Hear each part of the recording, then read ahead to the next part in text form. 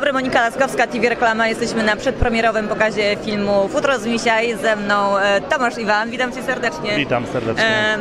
Zazwyczaj sportowo, a mm, są momenty, kiedy przychodzisz do kina, oglądasz. Dlaczego właśnie Futro z Misia?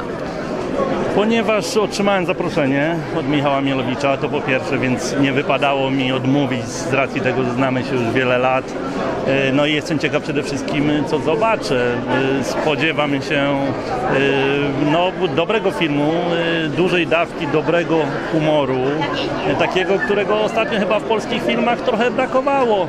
Wiemy, że zarówno i obsada, czyli Olaf, i Czarek Pazura, i popularny Milon znani są z tych słynnych komedii e, jak Poranek Kojota e, między innymi, E, więc no myślę, że film będzie chyba w podobnym klimacie i trochę za takim kinem tęsknimy.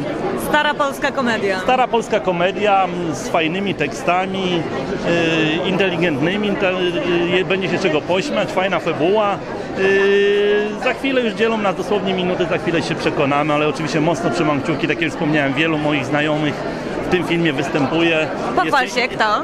no, tak jak wspomniałem, Olaf Loboszenko, Czarek Pazura, Michał Milowicz, yy, to tylko część, więc, więc gdzieś tam yy, trochę jestem emocjonalnie z tym filmem związany. Trzymam mocno kciuki, by, by ta premiera była udana, a co za tym idzie, żeby film yy, zdobył sukces, sukces w polskich kinach.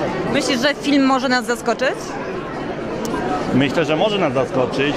Chyba tego wszyscy, wszyscy oczekujemy. Y, Chyba zdajemy sobie sprawę, y, jaki rodzaj filmu to może być.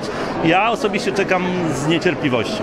Ja słyszałam, że będą sceny gangsterskie. Zobaczymy, co się będzie działo. Wiemy, że, wiemy, że na pewno, że komedia. 25 grudnia zapraszamy do kin. Dziękuję.